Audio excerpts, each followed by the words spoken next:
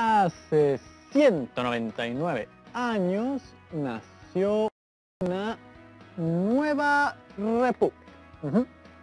Nació un 28 de julio y se llamó Perú. ¡Ay! Son 199 años. No se cumplen 199 años todos los días. Quiero escribir algo importante, algo grandioso, lo más genial que se me pueda ocurrir. Vamos, Rodrigo, vamos. ¡Qué raro! Estás hablando solo sin recurrir a la interacción conmigo. Necesito silencio para concentrarme y escribir. Los chicos y chicas de primero de secundaria ya están frente a sus pantallas esperando que arranques con el programa. ¡Es verdad el programa! Hola chicas y chicos, no me di cuenta que ya estaban aquí. Hoy he decidido realizar un video de mi autoría como preparación a la celebración del Bicentenario de Independencia del Perú. Es un acontecimiento muy importante. Por eso es que tengo que darle toda mi energía y concentración. Lo que voy a proponerles es que me acompañen a hacer este video. Yo sé que pueden decir, ay, pero falta un año todavía para cumplir 200 años y recién vamos a cumplir 199. Hace un año no estábamos inaugurando acaso los Juegos Panamericanos. ¿Ah?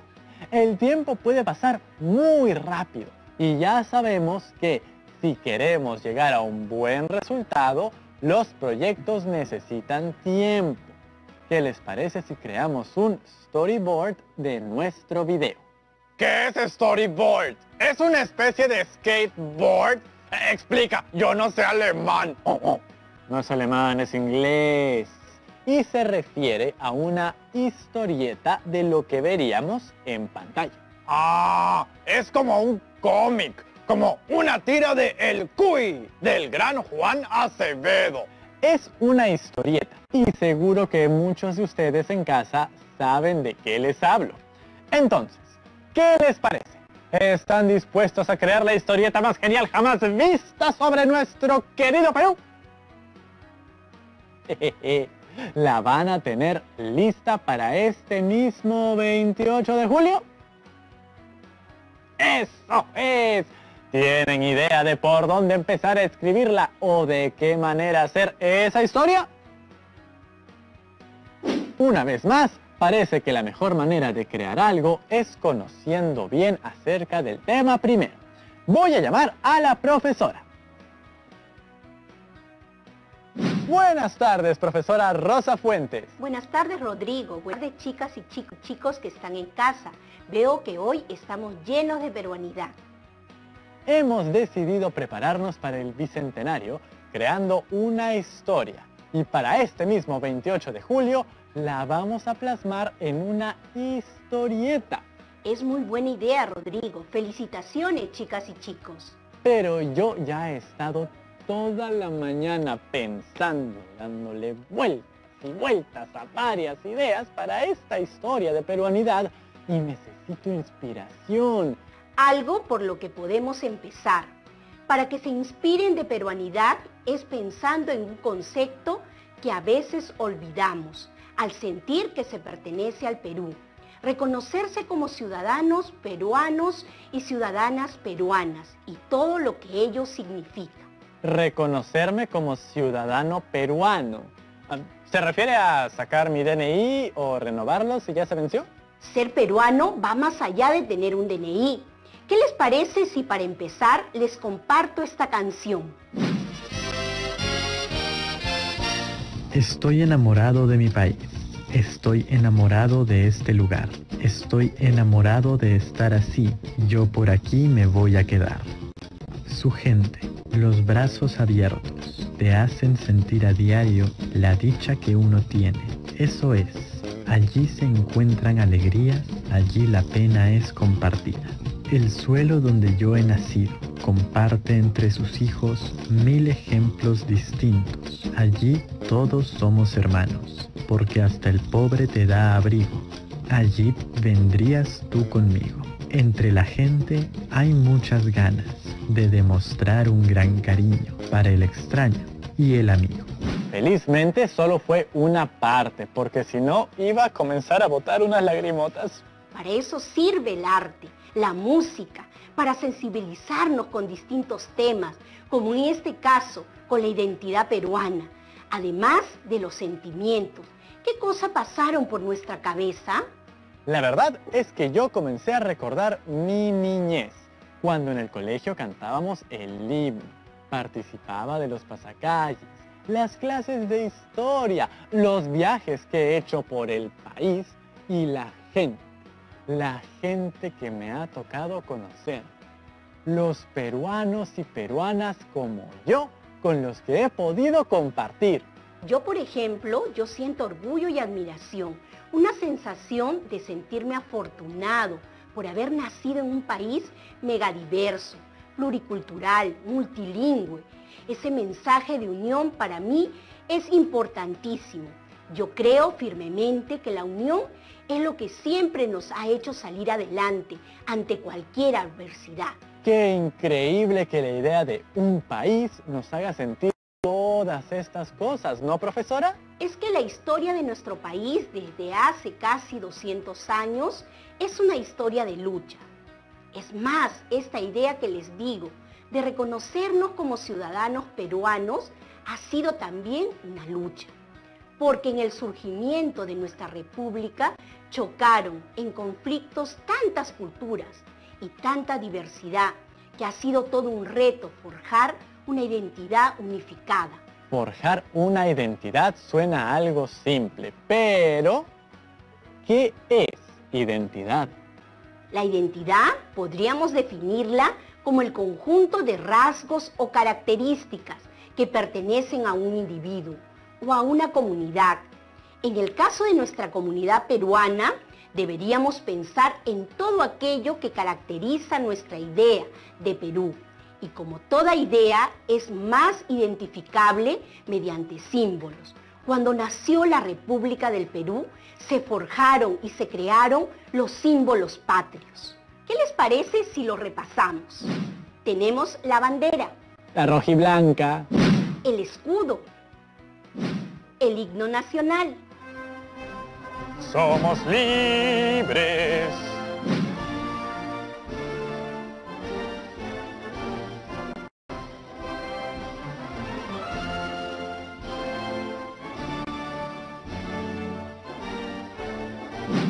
Me gustan mucho mis símbolos patrios. Al crearse los símbolos patrios, le sumaron características a esta nueva república que se formó llamada Perú.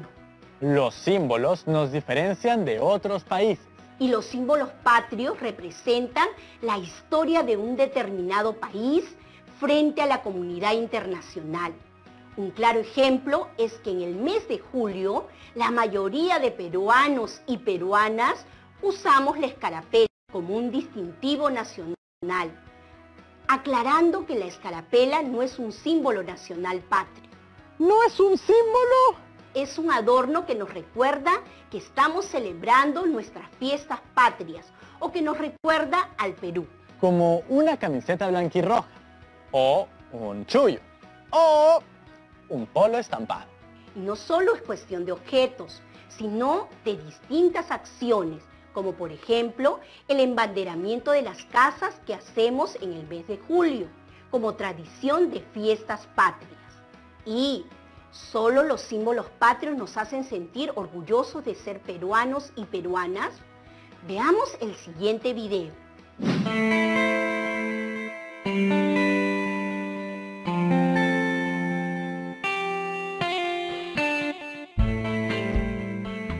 el orgullo de ser peruano y soy feliz de haber nacido en esta hermosa tierra. Chicos, chicos, paren, paren, paren. ¿Qué pasa? Así no se canta. ¿Por qué están cantando así? Profe, esta canción la canta mi abuelito. Sí, profe, qué aburrido. A mí me gusta, pero yo creo que ustedes están cantando sin ganas porque no saben lo que dicen. A, a ver, siéntense. Vamos a conversar. Tu abuelito la canta, ¿no es cierto? y a pesar de que ha pasado mucho tiempo, está vigente. ¿Y saben por qué? Porque son canciones de su tiempo. ¿Porque habla del Perú? Solo porque habla del Perú. Vamos por partes. Es una canción muy bonita. pero tienen que saber qué cosa dice la letra. ¿Qué dice la letra? Tengo el orgullo de ser peruano y soy feliz. Muy bien. ¿Ustedes saben qué cosa es peruanidad? Ay, profe, que somos peruanos, pues. Es lo que es el Perú. Peruanidad es un sentimiento profundo por nuestra patria de muchas personas sin importar dónde vivan, que tengan distintas ideologías, pertenezcan a diferentes etnias, hablen otros idiomas o tengan profesiones o ocupaciones distintas. Es nuestra historia que se expresa por intermedio de la cultura, el arte, el folclore. Es decir, las tradiciones y las costumbres. Todas esas características hacen del Perú una patria, una nación. Pero tradición y costumbre, ¿no es lo mismo? No, no es lo mismo. Tradición es todo aquello que una generación hereda de las anteriores y por considerarse valioso es entregado a las siguientes generaciones en forma oral o vivencial, como son los valores, creencias y forma de expresión artísticas. Mientras que las costumbres son hábitos o formas de comportamiento particular que asume toda una comunidad y que la distingue de otras comunidades. Por ejemplo, sus danzas, sus fiestas, sus comidas, su dialecto o su artesanía. Pongamos algunos ejemplos de costumbres que estoy seguro ustedes practican, como comer turrón de Doña Pepe en el mes de octubre, chocolate y panetón de Navidad. Con el tiempo, algunas costumbres como estas se convierten en tradiciones. ¿Entendieron hasta ahora? Sí, profe. Sí, eso es verdad. Nosotros tenemos cosas que otros países no tienen. Somos únicos, ¿no, profe? ¿Se están dando cuenta que nos estamos identificando con nuestro país? Tener tantas cosas extraordinarias nos llena de alegría y de orgullo. Claro, con todas las costumbres y tradiciones que tiene el Perú, tenemos que estar felices y sacar pecho. Gracias, profesora. Me estoy inspirando mucho. Voy a aprovechar para tomar nota. Y mientras tomo nota, y ustedes también en casa, vamos a ir a la pausa por un ratito. Atinki. Kaimusuk antena nisqakunawan aswan ayllukuna allin kawsayta hinallataq sumaq rimanakuytapas taripanqaku.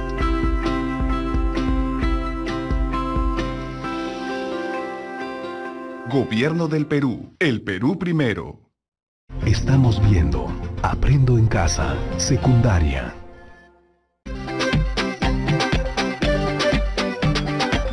Hola nuevamente, peruanas y peruanos. ¿Ya tomaron nota de todas las ideas que les han surgido en el primer bloque?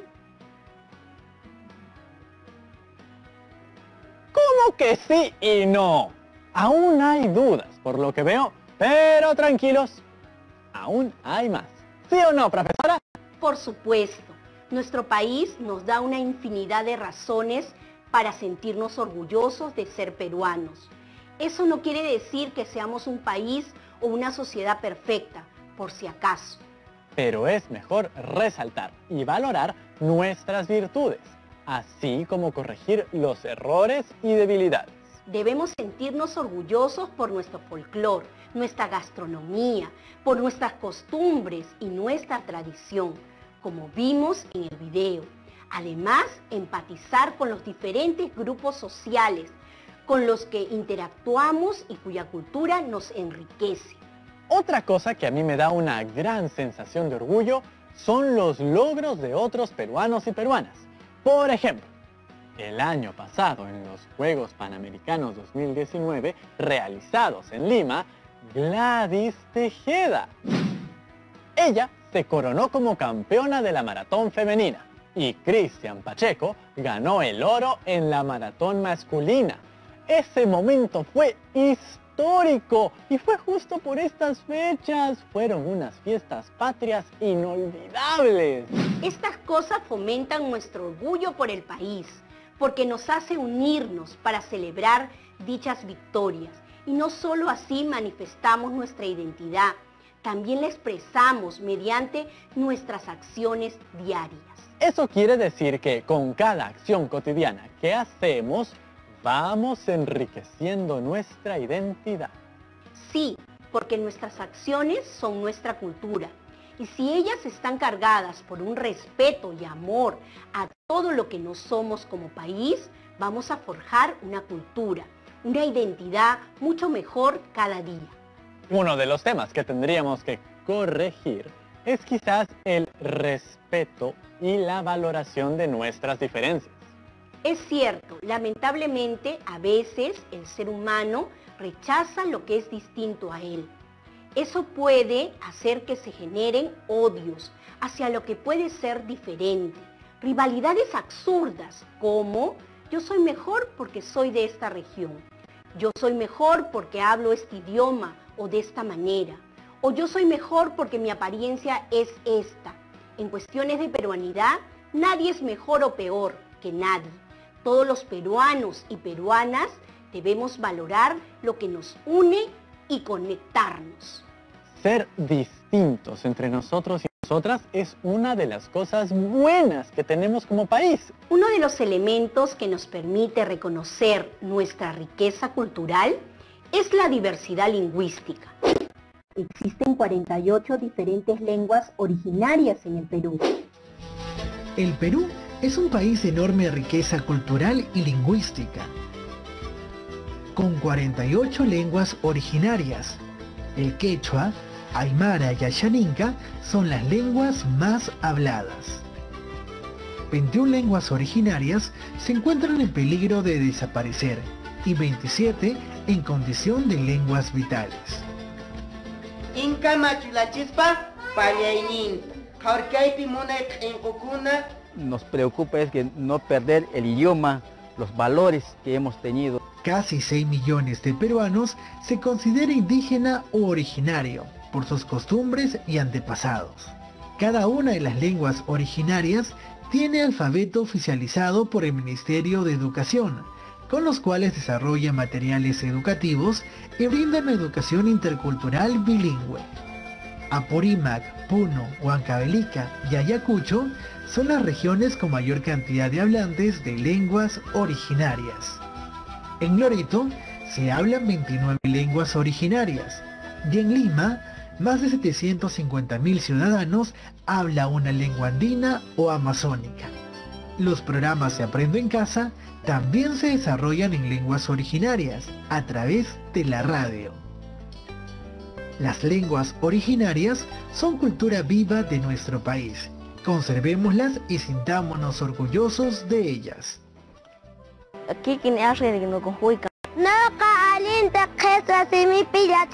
Yo aprendo mejor en mi lengua originaria. Nos comprometemos a estudiar y a luchar por nuestros sueños. ¿Y tú, a qué te comprometes? Realmente somos una cultura rica en culturas, por así decirlo. Exactamente, nuestra identidad se viene formando a partir del mestizaje, de la mezcla de muchas culturas, como por ejemplo la andina u originaria, la europea, específicamente la española, la africana y la asiática, así como distintas culturas que fueron sumándose con las distintas migraciones durante estos casi 200 años. Es verdad. Ya ahora, en el 2020, muchos países del mundo reciben influencias culturales de todos lados. Es parte de la globalización, como dicen. Así es. Y me gustaría resaltar la influencia africana en nuestro país. Su importancia es tal que todos los 4 de junio se celebra en nuestro país el Día de la Cultura Afroperuana. Es verdad, es innegable sus aportes en el arte, la música, las letras, la gastronomía y hasta en deporte. ¿Se acuerdan de quiénes fueron los goles que nos llevaron de vuelta al Mundial? ¿Mm? Gracias muchachos. Ahora que nos acercamos al Bicentenario, hay que recordar que la población afroperuana tuvo una participación relevante en el ejército patriota, pues lucharon en las diferentes campañas por la independencia del Perú. 200 años de independencia, dos siglos, y aún está tan vigente esta consigna de ser buenos ciudadanos peruanos, ¿verdad? Es que siempre vamos a poder ser mejores ciudadanos que antes, conforme vamos evolucionando. ¿Y qué implica la ciudadanía? El término ciudadanía aparece en la antigua Grecia y fue un término muy importante en la antigua Roma. Para estas dos civilizaciones, el sentimiento de pertenencia al Estado era muy importante, pues los ciudadanos se sentían parte de este. Sin embargo, no todos los habitantes eran ciudadanos. En el caso de Roma, los ciudadanos eran los que pertenecían a la clase privilegiada, y en Grecia las mujeres y los esclavos no eran ciudadanos. Fue lo que hizo que esto cambiara. Vayamos a la Revolución Francesa en 1789, cuando la mayor cantidad de habitantes se rebelaron contra el régimen de la monarquía y eligieron pelear por la, por la edad, la fraternidad y la libertad. Esta revolución tuvo mucha influencia en la ola independentista en todas las colonias españolas, ¿verdad? Marcó un antes y un después en la historia de la humanidad. Luego se creó la Declaración Universal de los Derechos Humanos. Este documento permitió que las personas no sigan consideradas súbditas del rey, característica principal de la monarquía absoluta. Durante siglos, varios países vivían bajo este régimen, pero desde la Revolución Francesa y esta Declaración de los Derechos Humanos, todas las personas tienen los mismos derechos y también los mismos deberes con el Estado. Y eso fue lo que pasó en nuestro país. Después del 28 de julio de 1800 de ser súbditos de la corona española y forjamos nuestra república, donde todos los peruanos y peruanas tenemos los mismos derechos y deberes con el Estado. Sí, pero déjame precisar que en el Perú, en un primer momento, las mujeres, analfabetos y niños no fueron considerados ciudadanos. En el transcurso de estos 200 años, obviamente esto fue cambiando y en la actualidad todos somos considerados ciudadanos y la Constitución del Perú nos permite participar como tal. Ahora todos somos ciudadanos, incluidas las chicas y chicos de primero de secundaria, ¿verdad? Por supuesto. La ciudadanía se va construyendo. Los adolescentes, al ser ciudadanos, poseen derechos y deberes. Un buen ciudadano o ciudadana adolescente también cumple con los deberes en la familia y conoce sus derechos como tal. Uy, creo que por aquí podemos encontrar muy buenas ideas para las chicas y chicos con las que podrán crear su historieta. ¿Cómo pueden ejercer sus derechos y cumplir sus deberes los adolescentes? Justamente en esta situación particular de la pandemia.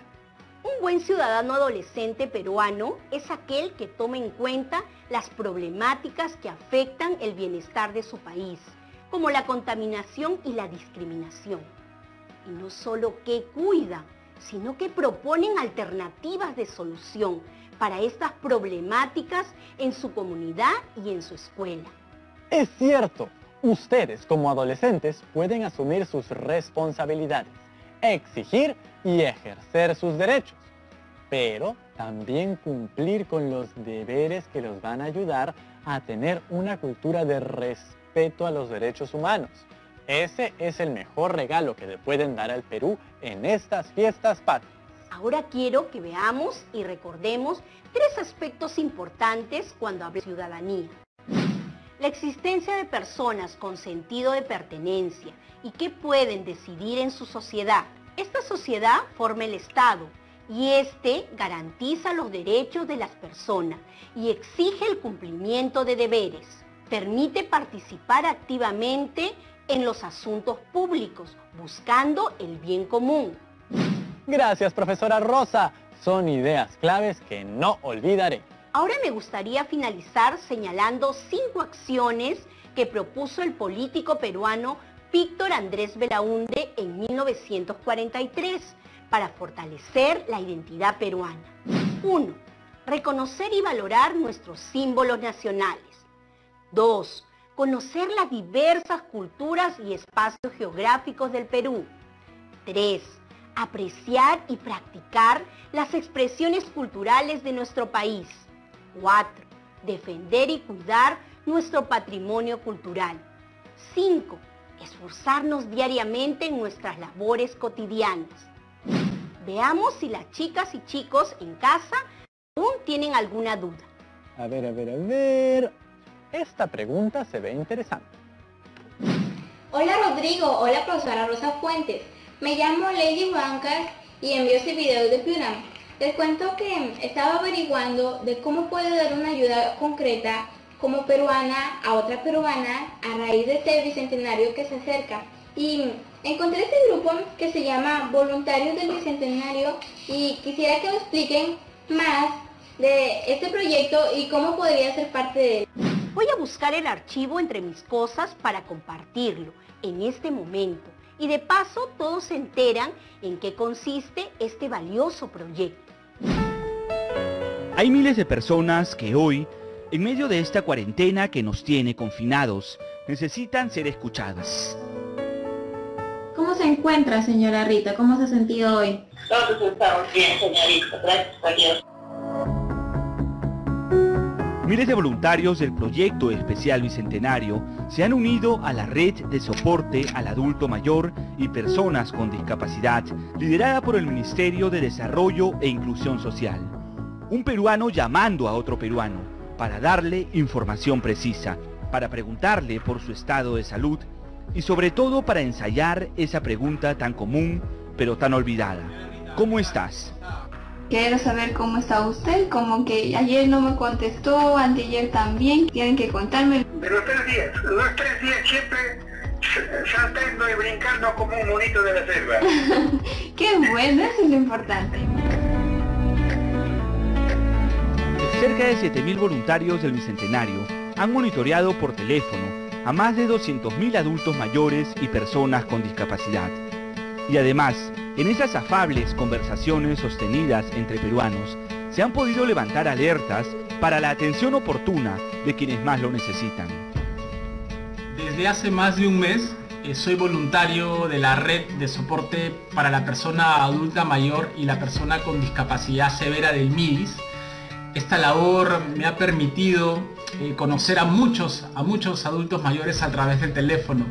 Al comienzo, muchos ¿no? pero felizmente encontré la forma de ganar su confianza y, de escucharlos. En muchos casos, eh, las llamadas duraban más de 10 minutos. Varios ya sabían mi nombre, algunos ya llamaban a lo Ronald, ¿no? Que lo que moviliza al voluntario, sobre todo al joven, es esta voluntad por eh, hacer signifiquen, hacer cosas que generen cambios, ser agentes de cambio social en sus comunidades. Yo creo que esta labor ha sido muy importante. Estamos en tiempos difíciles, pero lo destacado de esta labor es que hemos podido estar con ellos.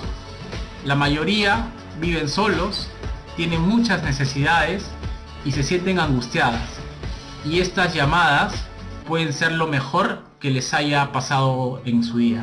Creo que con esto ya tenemos material e ideas de sobra para armar una historia extraordinaria. Como debe ser, el Perú es un país extraordinario y no se merece menos. Muchas gracias, profesora, y espero oírla cantar en alguna jarana criolla pronto. chao, chao. ¿Y qué tal? ¿Ya sabes de qué vas a escribir? Pues sí, Tocino voy a escribir sobre todo lo que representa para mí el Perú. ¿Cómo vas a resumir todo ese tiempo y tanta pluriculturalidad en una historieta? Muy simple. Voy a concentrarme en mi historia de amor. ¿Amor? Amor por el Perú. Adiós amigas y amigos y que viva el Perú.